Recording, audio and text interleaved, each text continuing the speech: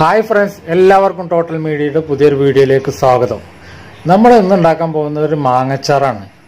മാങ്ങച്ചാറ് സാധാരണ പല രീതികളിലും ഉണ്ടാക്കാറുണ്ട്. ഇതൊരു വെറൈറ്റി നല്ല നല്ല ടേസ്റ്റിലൊരു മാങ്ങച്ചാറാണ് നമ്മളിന്ന് ഉണ്ടാക്കാൻ പോകുന്നത്. ഇതൊരുപാട് കാലം കേടുകൂടാതെ വെക്കുന്ന രീതിയിൽ നമുക്കൊരു മാങ്ങച്ചാർ ഉണ്ടാക്കിയെടുക്കാം. അതിന് വേണ്ടിയിട്ട് ഞാൻ ഒരു ഒരു കിലോ മാങ്ങ എടുത്തിട്ടുണ്ട്.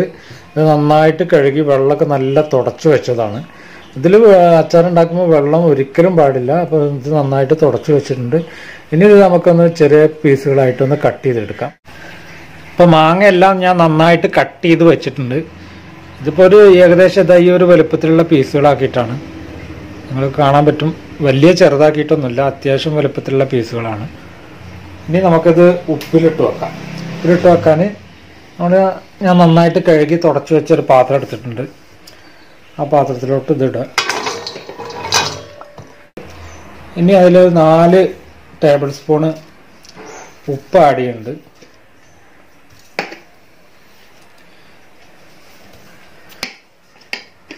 ഇനി ഇത് നന്നായിട്ട് നമുക്കൊന്ന് മിക്സ് ചെയ്തെടുക്കാം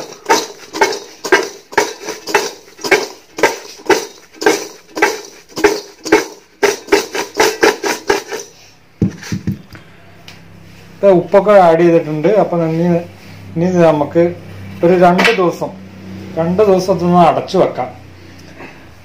രണ്ട് ദിവസം ഒരു ഒരാഴ്ച വരെയൊക്കെ അടച്ചു വെക്കാം. ഇതിപ്പോ ഞാൻ ഇപ്പൊ രണ്ട് ദിവസം വെച്ചിട്ട് നമുക്കിത് അച്ചാറുണ്ടാക്കാം.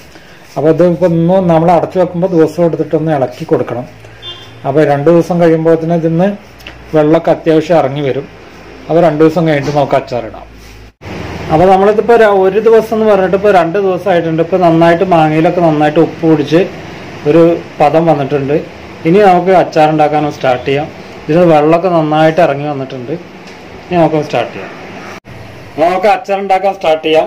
അപ്പൊ അതിന് വേണ്ടിയിട്ട് ഞാൻ ചട്ടി അടുപ്പത്ത് വെച്ചിട്ടുണ്ട്. നമുക്ക് അതിലേക്ക് നല്ലെണ്ണ ഒഴിക്കാം. നല്ലെണ്ണ കുറച്ചധികം അയച്ചിട്ട് കുഴപ്പമൊന്നുമില്ല. നല്ലെണ്ണയിൽ നിന്ന് അച്ചാർ ഉണ്ടാക്കുമ്പോൾ നല്ലെണ്ണയിൽ ഉണ്ടാക്കണം. എന്നാലും അതിന്റെ ഒരു ടേസ്റ്റ് ഉണ്ടാവുള്ളൂ. നമ്മൾ എണ്ണ ചൂടായിട്ടുണ്ട് നമുക്ക് അതിലേക്ക് കടുകിടാം.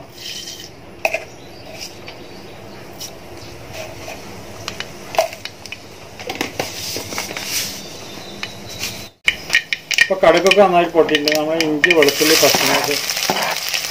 ടേസ്റ്റ് ആക്കിയാലും കുഴപ്പമൊന്നുമില്ല.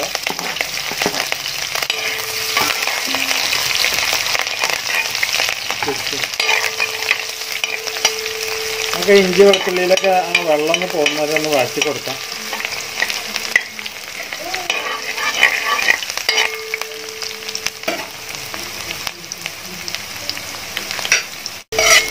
അപ്പോൾ ഇതിൽ വെള്ളമൊക്കെ നന്നായിട്ട് വലിഞ്ഞിട്ടുണ്ട്. ഇനി നമുക്ക് തീ ഒന്ന് കുറച്ച് വെക്കാം. തീ കുറച്ചതിന് ശേഷം ഞാൻ ഒരു ടേബിൾ സ്പൂൺ മുളക് പൊടി ഇടുന്നുണ്ട്.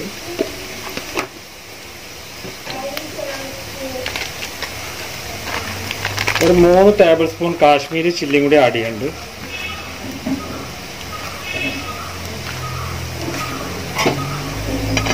ഇനി ഇത് നന്നായിട്ടൊന്ന് മിക്സ് ചെയ്യാം നമുക്ക്.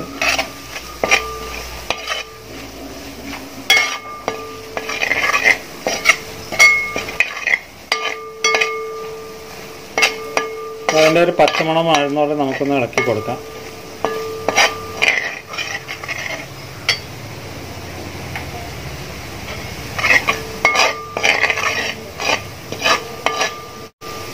ഇനി നമുക്ക് ഇതിലോട്ട് മാങ്ങ നേരത്തെ നമ്മൾ എടുത്തു വെച്ച മാങ്ങ ഇതിലേക്ക് ആഡ് ചെയ്യാം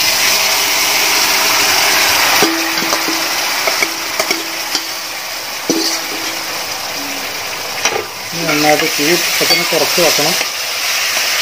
നന്നായിട്ട് തന്നെ ഇളക്കി. എല്ലായിടത്തേക്കും എത്തുന്ന രീതിയിലൊന്ന് ആക്കാം.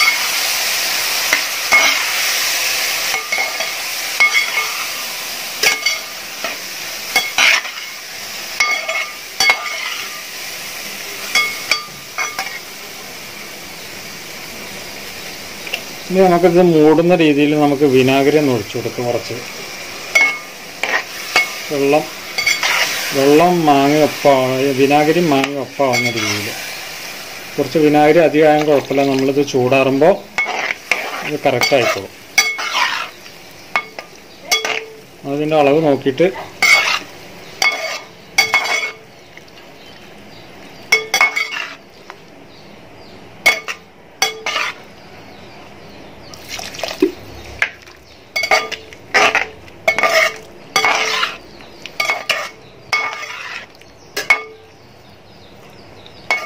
ഈ സമയം നമുക്ക് ഇതിൽ ഉപ്പൊക്കെ നോക്കാം. ഉപ്പ് കുറവുണ്ടെങ്കിൽ ഈ സമയം ഇട്ട് കൊടുക്കാം.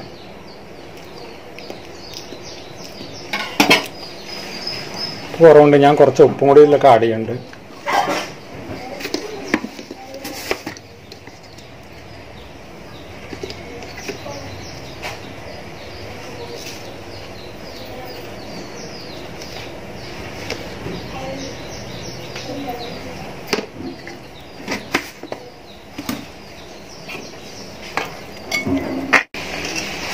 ഇനി ഇതിലോട്ട് ഒരു സ്പൂണ് ഉലുവപ്പൊടി ചേർക്കുന്നുണ്ട്. അതുപോലെ തന്നെ ഒരു ടീസ്പൂണ് കടുക് പൊടിച്ചതാണ്. അതും കൂടി ഇതിൽ ആഡ് ചെയ്യുന്നുണ്ട്. അതുപോലെ ഒരു സ്പൂണ് ഉഴുന്ന് പൊടിച്ചതാണ്. അതുകൊണ്ട് ആഡ് ചെയ്യാം. ഇനി നന്നായിട്ടൊന്ന് മിക്സ് ചെയ്യാതെ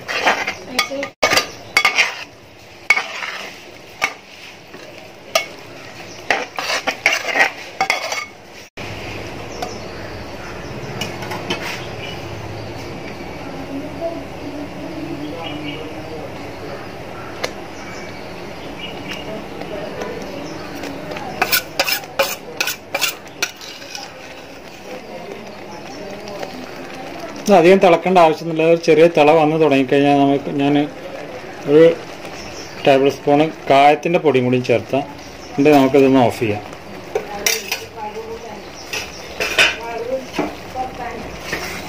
നമുക്കിത് ഓഫ് ചെയ്യാം.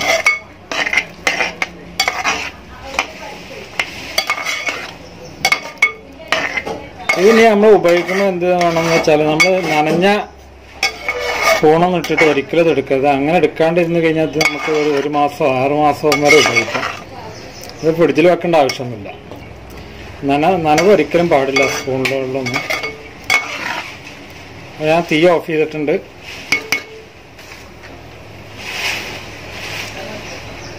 അപ്പോൾ എല്ലാവർക്കും ഈ വീഡിയോ ഇഷ്ടപ്പെട്ടെന്ന് കരുതുന്നു. എല്ലാവരും ഇത് വീട്ടിലൊക്കെ ഒന്ന് ട്രൈ ചെയ്ത് നോക്കുക. നിങ്ങൾ ആദ്യമായിട്ടാണ് എന്റെ വീഡിയോ കാണുന്നതെങ്കിൽ എന്റെ ചാനൽ സബ്സ്ക്രൈബ് ചെയ്യുക. അതിനുശേഷം വരുന്ന ബെൽ ബട്ടൺ കൂടി പ്രസ് ചെയ്യുക. വീഡിയോ ഒന്ന് ലൈക്ക് ചെയ്യുക ഷെയർ ചെയ്യുക മാക്സിമം സപ്പോർട്ട് ചെയ്യുക. അപ്പോൾ ഓക്കെ അടുത്ത വീഡിയോയിൽ കാണുമ്പോഴേക്കും ഗുഡ് ബൈ